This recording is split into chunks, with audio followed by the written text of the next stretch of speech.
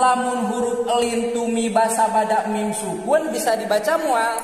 Mual sabab jadi ayat dua su sukun. Di Sunda bisa hmm uh Hi, bisa di Sunda mah. Kan kulantaran ieu teh bahasa Arab mual bisa dibaca. Jadi mim sukun sanes mayunan huruf elin. Dadina Arab nage la alipa layi natin. Sanes alif Elin. Anu saur kamari Alif Elin teh disebatna Alif lainah maksad nama Walmimu intas kun taji qoblal hija. Walmimu sarang ari mim intas kun lamun mah disukunkeun. Si mim teh taji datang itu si mim qoblal hija sameme huruf hija iya. berarti min sukun mayunan huruf hija iya. Dugi kadinya macan pugu huruf hija iya nate tiasa nu 28 tiasa nu 20 salapan. Ngan lamun dituluikan la alipa layin natin ngan peda huruf hija iya nate anu sanes alif. Tegesna huruf hija iya na anu tengangek aku kulantaran huruf hijaiyah na anu tengange Alif maka huruf hijaiyah nu dimaksud. Teh sabaraha?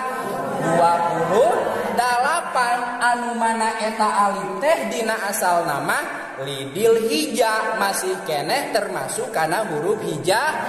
Iya ngan pedah nu dimaksud huruf hija iya dina hukuman mim sukun. Manu sabaraha nu 20 dalapan pedah didinya ayah bahasa la alipa layi natin. Tiasa la alipa tiasa la alipin. Eta tehnya lamun la alipa berarti langsung la alipa lamun la Alipin berarti nakdirken kobla la kobla Alipin gitunya toswe nu aya di dia la nyaon la alipa gitunya la alipa layinatin maksudna huruf hijaiyah anu dimaksud teh anu teu aya alipan. Kulantaran teu aya alipan berarti anu 20 dalapan buktikan mimpai nomor kahiji teh hukuman anak ikh pak hurufna aya hiji nyaeta naon. Ba nomor kadua hukumana nate idgham hurufna aya hiji nyaeta mim. Nomor katilu hukuman mim sukun teh izhar. Hurufna aya 20 genap atuh hiji jeung hiji sabaraha dua dua jeung 20 genap sabaraha dua puluh dalam delapan lamun dirinci per hurufna jumlahnya pasti 20 dalapan sabab dina koidah anu awal hurufmu dipilih tina huruf hijaiyah tenu 20 delapan. Anu te aya a alipan. Anu dina koidah mah bahasana teh la alipa layi natin. Teges nama huruf hijaiyah nu te aya a alipan. Gitu ta jadi weh 20 sabaraha 20 dalapan ta janten eh pangna huruf hijaiyah nu dicanak 28 teh pedah dina kaidah aya bahasa la alipa layinatin eta. Lamun teu aya eta mah pasti huruf hijaiyah nate anu sabaraha? Anu 20 salapan. Pertanyaanana kunaon anu dicandak anu 28 sabab ari alif masalah wasna tara narima har? Tara narima baris. Lamun tara narima baris berarti kumaha? Sukun. Ayeuna lamun mim sukun mayunan alif tiasa dibaca teu. hente alifna hente biasa di dibaca sabab alif mah bisa dibaca lamun samemehna ayah huruf di barisan bari dikumahakeun. Dipatahkeun alif bisa dibaca teh lamun samemehna ayah huruf di barisan bari dipatahkeun. Kakara tiasa lamun samemehna nge huruf ba dipatahkeun dibaca.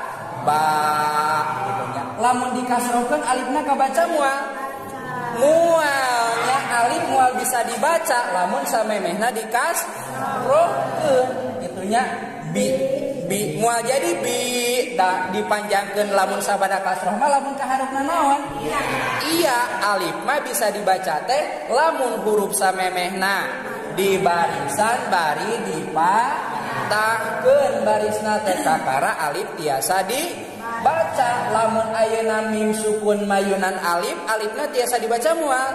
Mual sabab mim sukun mayunan Alif anu su sukun. Atuh lantaran mak Alif teu tiasa dibaca maka Alif teu dilebetkeun kana huruf anu hukuman mim pae atuh kulantaran Alif teu dilebetkeun maka huruf hijaiyah nu dicandakna 20 diisarahan dina qaidah mah la alifa layi nadin. Tos. Diulang-ulangnya. Kami hafal salajengna ari hukuman mim sukun teh ayat di tilu nomor kahiji id nomor kedua id nomor katilu id huruf ifa ayah hijinya eta ba huruf Iqom ayah hijinya eta? Mim. Nya berarti nutos aya teh ba sareng mim. Berarti huruf idharma sasesana tina ba sareng mim. Di luhur alladzina hum yu. Berarti mim sukun mayunan huruf naon? Mayunan huruf iya anu mana iya? Teh sanes ba iya oge sanes mim berarti iya iya teh lebetna kana huruf anu 20 genap kulantaran iya lebet kana anu 20 genap berarti mim sukun mayunan iya teh namina in izhar namina teh in izhar Teras.